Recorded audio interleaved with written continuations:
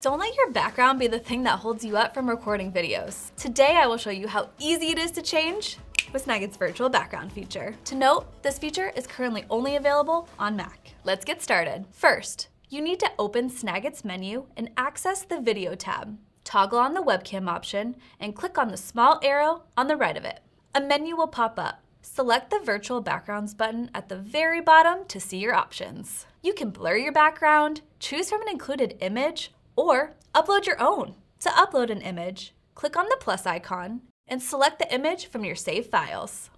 Once you've got the background you like, press the red capture button to start your recording. You can change the background during your recording by clicking on the arrow next to the webcam icon. You can go from this to this or even this. Snagit's virtual backgrounds are the perfect solution for professional polished videos free from distractions. Want to try it out for yourself? There's a link for a free trial in the description. As always, like and subscribe for more screen capture and Snagit tips. Thanks for watching.